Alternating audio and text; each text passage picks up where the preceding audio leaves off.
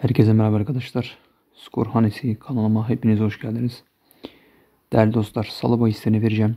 Şampiyonlar Ligi maçları var bugün. Güzel karşılaşmalar var.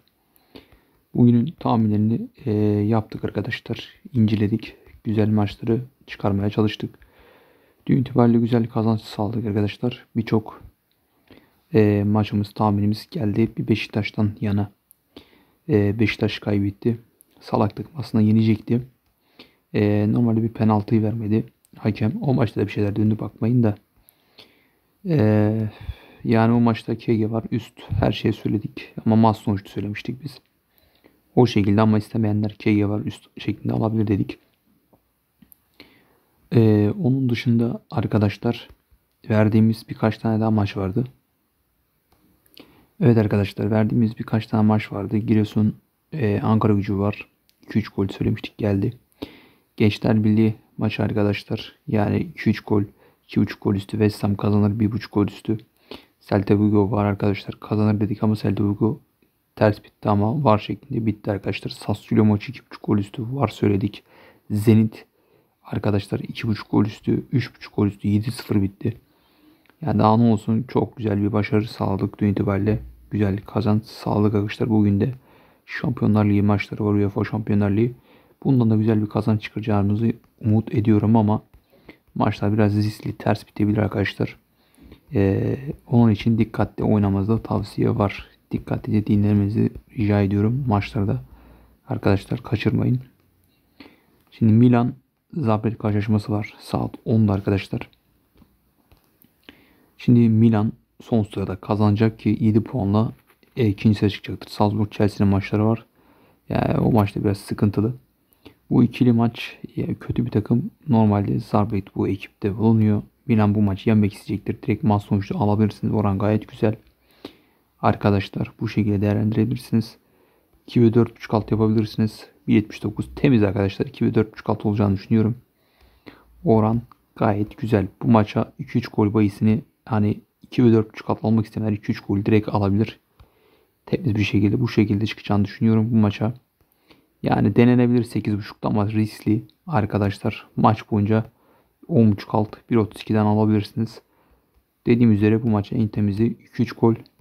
Arkadaşlar 3.5 alt 2.5 gol çok zorlanırsa da belki olabilir. Sabret at, atsa destek verse yani olabilir. Belki 1-0 2-0'a da takılabilir bu maç.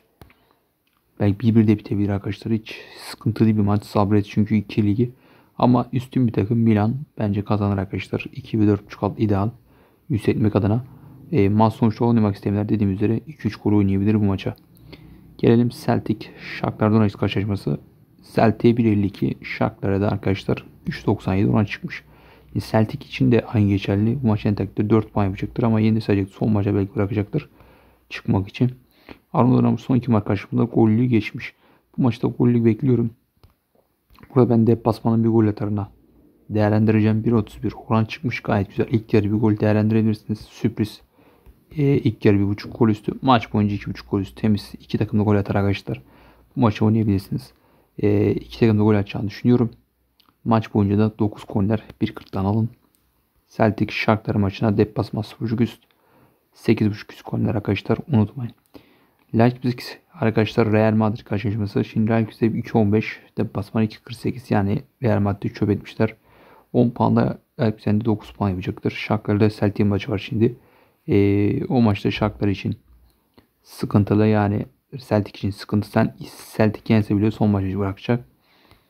Bakacağız e, 2-0 yenmiş en son maçını. Burada da Leipzig yenebilir arkadaşlar.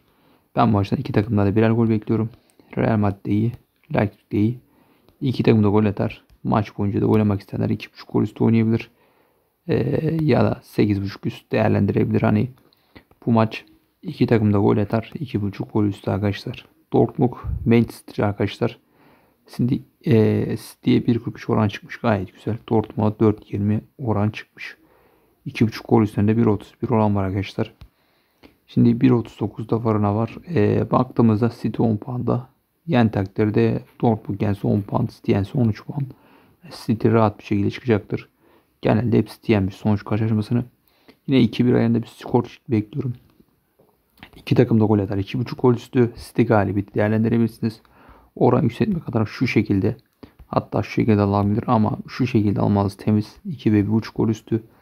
Direkt de City galibiyeti. Ben City galibiyeti diyorum arkadaşlar. İki takım da gol atar.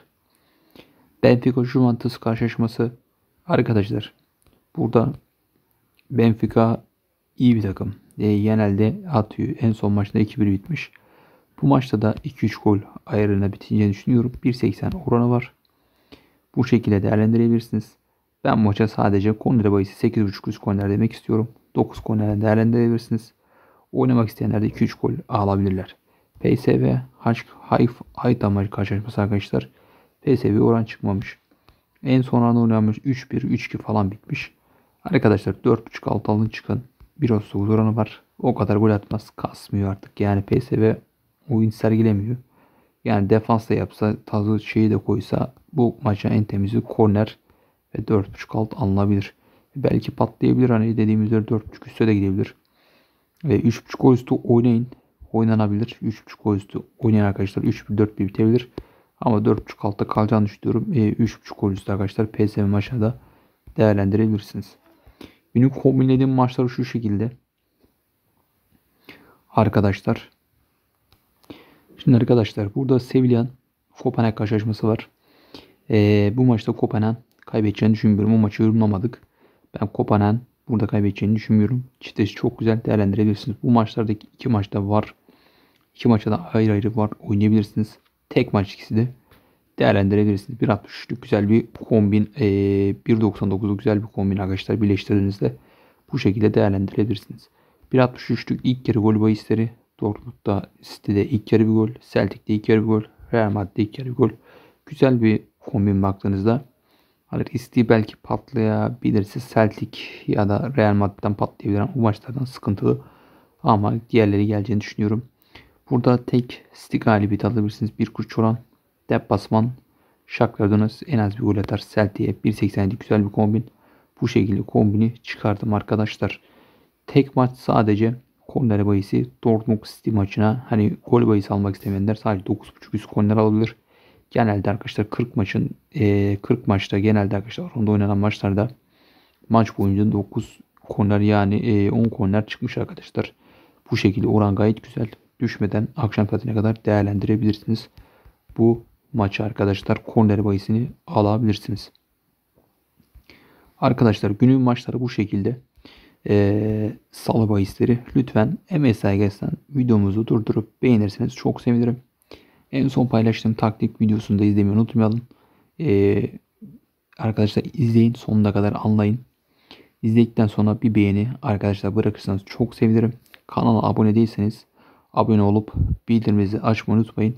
Her gün paylaşım yapmaya çalışacağım. Takip videolarım gelecek. Lütfen MBS sergisinden takipte kalın. Herkese bol şanslar, bol kazançlar arkadaşlar.